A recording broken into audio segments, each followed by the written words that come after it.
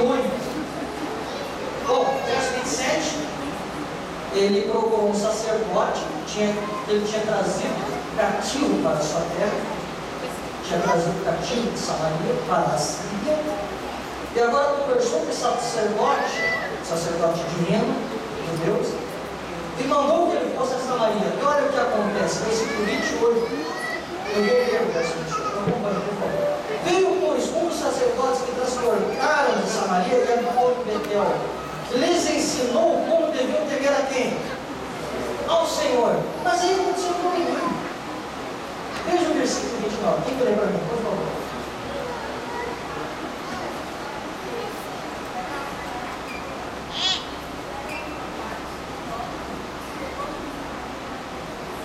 O que, que aconteceu?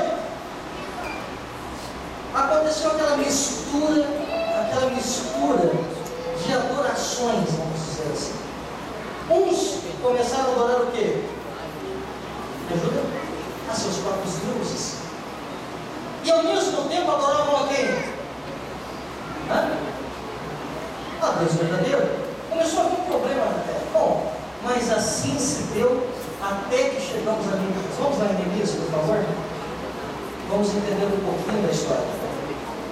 Neemias capítulo 2, por favor, verso 19. Quem tem uma voz bem forte? Neemias capítulo 2, verso 19. Depois, olha, vou explicar para os irmãos.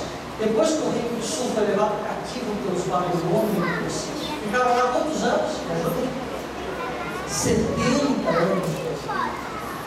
Bom, através de cartas, foi feito um decreto para que eles voltassem. Eles voltaram a Jerusalém, os judeus, para reconstruir tanto tempo quanto a cidade, só que encontraram uma dificuldade. Qual foi a dificuldade?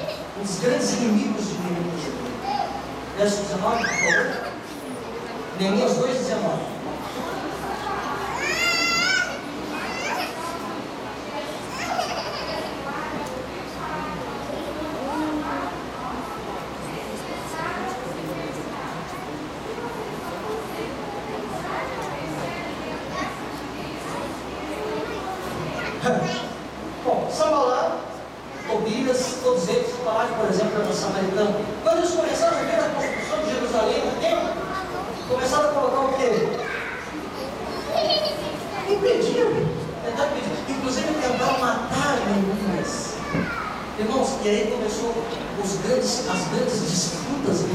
as duas regiões, tanto Samaria como quem?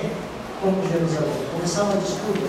E agora, eles jamais deixariam, eles, os judeus não deixaram nem os samaritanos ajudarem na construção. Por quê? Porque era uma mistura de quê? Uma mistura de gente que estão ali com é um com preconceito eterno.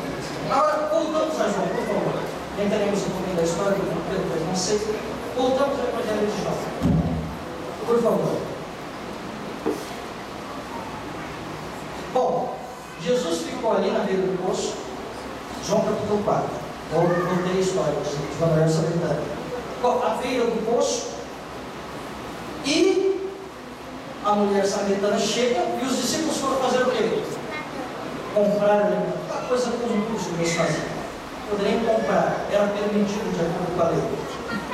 Mas vamos ver os versículos Bom, Cristo pede de beber a mulher samaritana. Né? E agora o que acontece? Versículo 9. Um tom de gracejo. Vejamos o que a mulher samaritana para Cristo. Verso 9. Disse-lhe a mulher samaritana: Como sendo um judeu, me pedes de beber a mim, que sou mulher samaritana? Os judeus não se dão com os samaritanos. Agora, o que Jesus disse,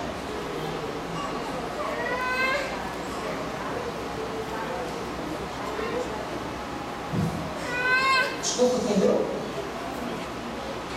Entendeu? Lê de novo, por favor. Sim.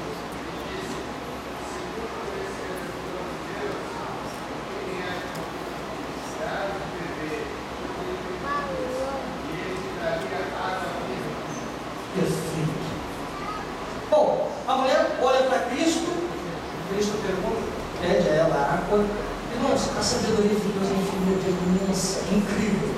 Olha o psicólogo do mundo fala isso. Sabe isso por quê?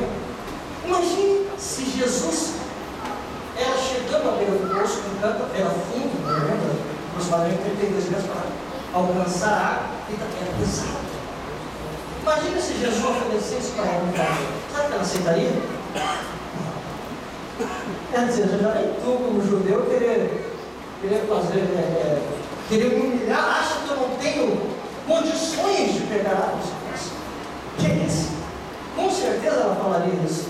Porque Jesus foi sábio. Conhecia aquele coração, conhecia todo aquele conceito. Então Jesus pede o quê? Pediu-lhe um favor, em vez de oferecer-lhe um favor. Bom, a questão é que isso, isso quebrou o preconceito. Porém, o preconceito era muito enraizado. Ela falou o quê? Como que sendo judeus não deve o quê? De beber a vinho sobre essa Bom, e aí Cristo diz o que para ela? Se tu conhecesses o dom de quem te diz dá-me de beber, tu lhe pedirias dessa água, e eu a e eu te. De que água Jesus estava falando? Me ajuda, por favor. Água da vida, graça que renova o coração. Porque Cristo viu naquela mulher uma pessoa o quê? Um deserto. Aquela mulher que tinha paz no coração. A sua alma estava desértica. Ela precisava da água viva, que é a graça vivificadora. Porém, o preconceito deveria ser quebrado. Eu quero perguntar a vocês, a barreira deveria ser quebrada. Eu pergunto a vocês nessa manhã. Para você que ainda não aceitou Jesus como teu salvador pessoal, que tipo de barreira você tem no seu vida? A mulher samaritana tinha uma barreira, não tinha? Qual era a barreira que tinha que ser quebrada? É o preconceito. Às vezes nós temos barreiras também pessoais. Às vezes, às vezes viemos à igreja tantos e tantos tempos e não, e não temos, assim, não tomamos ainda decisão ao lado de Jesus. Temos medo de entrar no tempo batismal, ser batizado em nome de Jesus. Temos medo de tomar essa decisão, barreiras que devem ser o quê? Quebradas. Só que eu quero dizer uma coisa para você, seja qual for a sua barreira. Às vezes você pode dizer assim, puxa vida, eu conheci cabelo, para fazer uma coisa desse jeito. Puxa vida, mas esse é meu história. Essa história mas é tão ruim, imagina na escola desse jeito, e na faculdade desse jeito. A minha alimentação, olha quantas barreiras que eu tenho Meus amigos, o meu vício, eu vou ter que largar o meu vício. Quantas e quantas queridos, quantas e quantas barreiras eu poderia mencionar que muitas vezes temos no coração. E isso tem impedido você, muitas vezes, de aceitar a Cristo completamente. Às vezes aceitamos uma parte só, mas não aceitamos a, a Cristo por quê? Por bom, porque você nesta manhã não aceite completamente. Seja quais forem as barreiras, seja qual for o teu vício, seja qual for a tua dificuldade. Jesus está disposto a fazer o que com a sua barreira? Mas quebrar. Seja qual for a Bom, Cristo começa então a, a quebrar esta barreira que existia. Vamos ver o próximo versículo, versículo 11, por favor. Verso 11 e 12.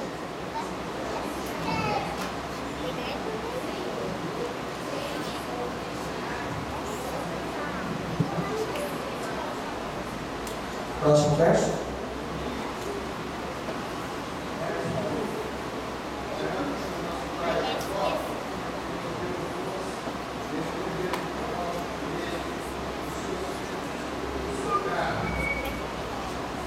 Deixa eu ver. Se ela imaginasse quem estava ali à frente dela, né? Mas ela dizia assim, olha, Senhor, como que você, você dizendo que vai me dar água? Ela não imaginava que era cristão. Ela não imaginava. Ela pensava que Cristo estava fazendo um poço água. Então ela diz assim, ah, Senhor, você não tem o quê? Nem corda, nem o quê? Tem o cântaro, você não tem como tirar essa água aqui. Agora o Senhor vai me dizer, o Senhor vai me dar água? Que é isso? Céu. Que é isso? É o Senhor maior que quem? Maior que Jacó. Olha o orgulho que essa mulher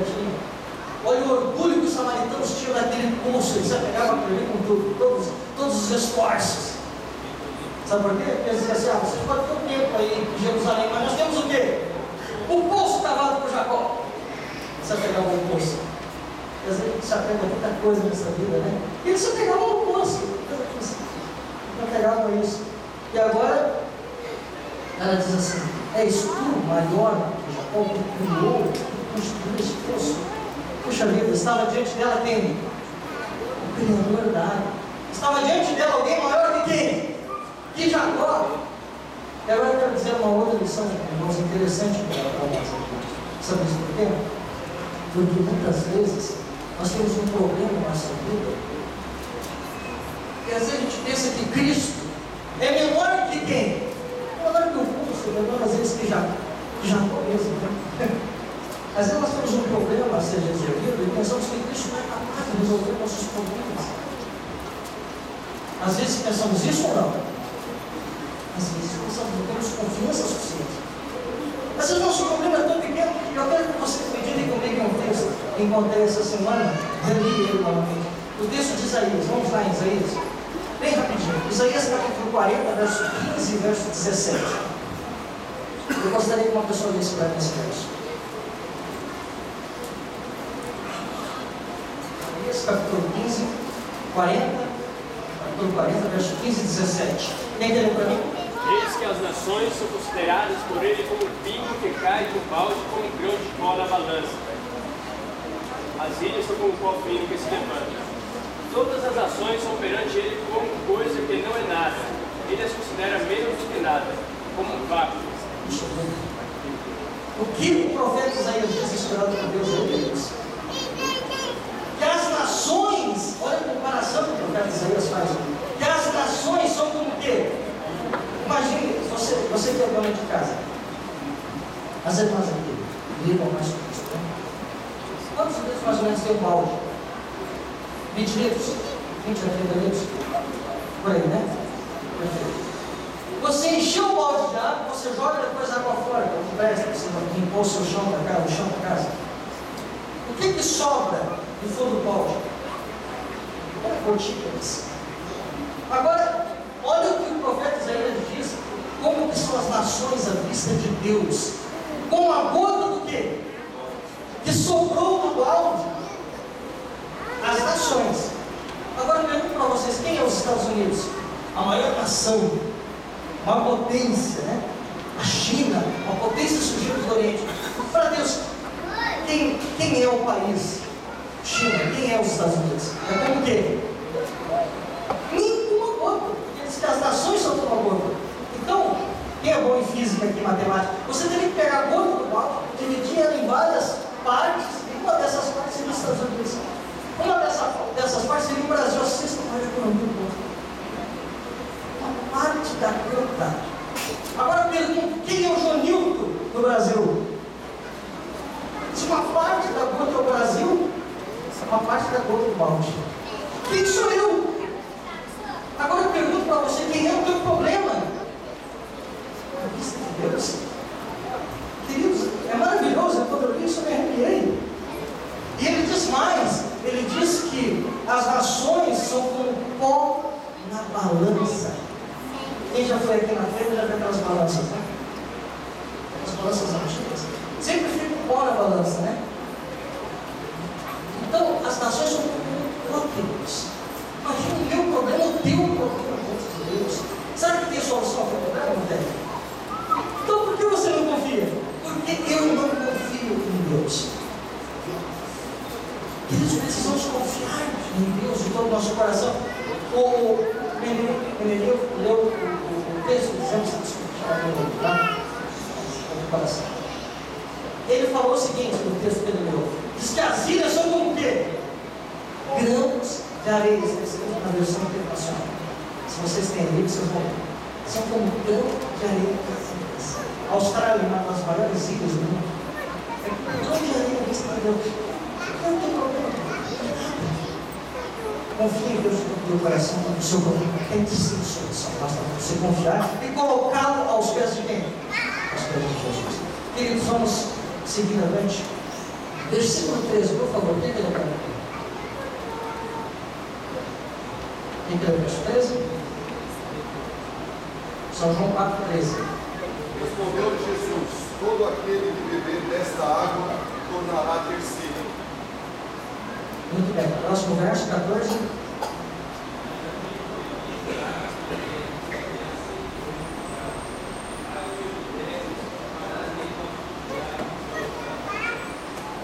O profeta Jeremias fala de sistemas bocas. Sabe o que é uma cisterna boca? Cisterna boca? Poço, boca. É aquilo que não retém água. Esse quiser que o profeta Jeremias quer dizer.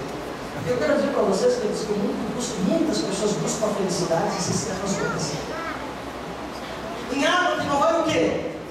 Saciar espiritualmente, vai saciar a sede física, mas não espiritual. A mulher ia ali todos o quê?